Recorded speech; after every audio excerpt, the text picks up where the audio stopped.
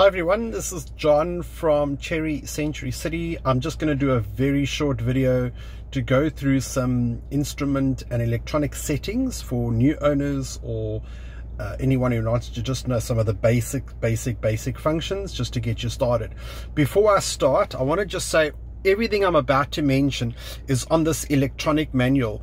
If you go into it, you can literally just choose whichever section you need help on and it'll it'll get there uh, and you can find whatever I'm saying there.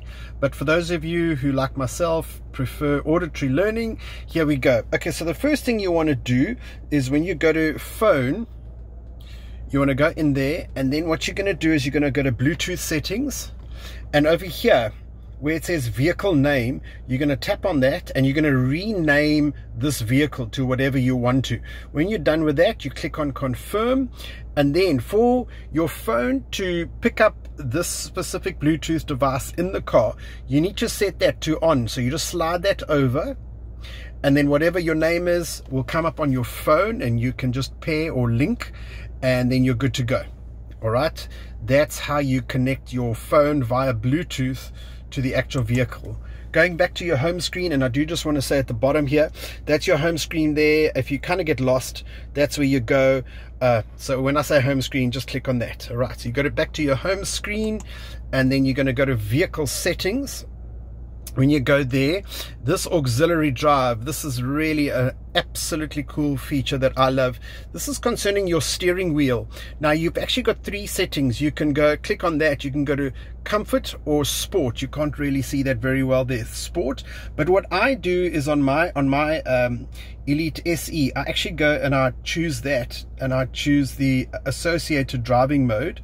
And what that does is the following. You'll see that goes to uh, I don't know if you can see it now, but it's on. Uh, what that does is it actually turns your steering wheel at a low speed. It'll turn very easily.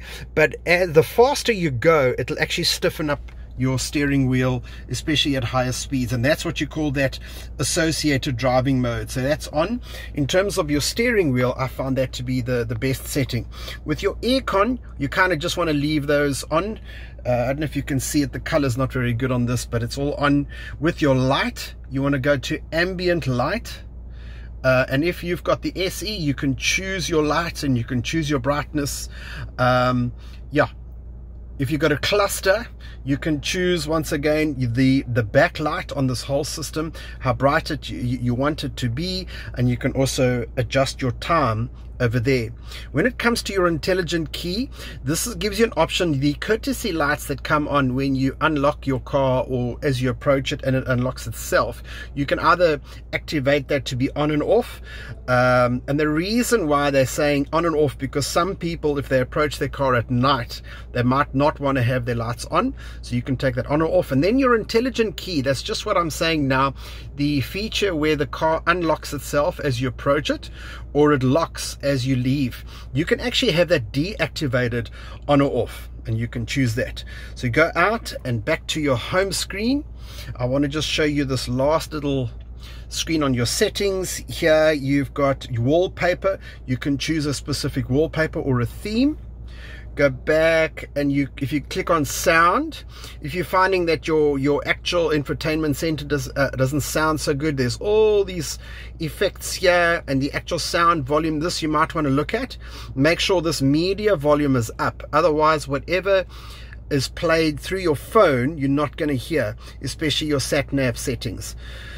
Then when you go to Bluetooth, this will show you the devices that are connected. Um, and yeah, it's obviously showing my phone and then going back to your settings uh, you can ask for uh, just to say allow wake up words um, and you can play around here. I do not actually know what that tuner area is. That's got something to do with your radio. Going back out this is your media button. So okay we got some good music there.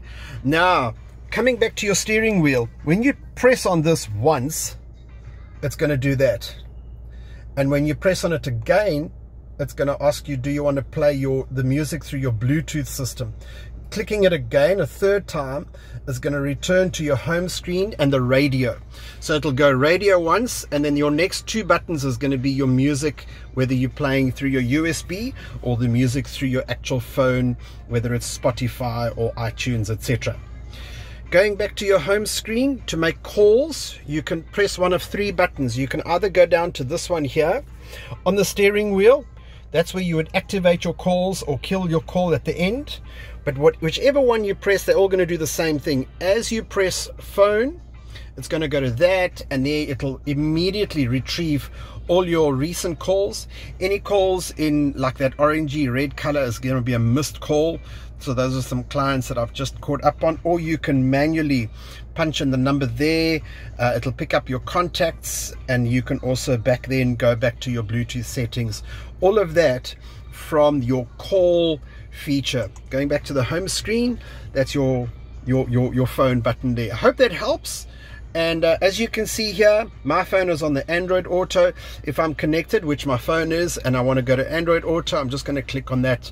And that really is the easiest, uh, um, the easiest app and the easiest way to access some of the apps that are on your phone via the your cable. Don't forget the cable that you use for Android Auto or Apple CarPlay must be the cable that came with your phone, the original cable.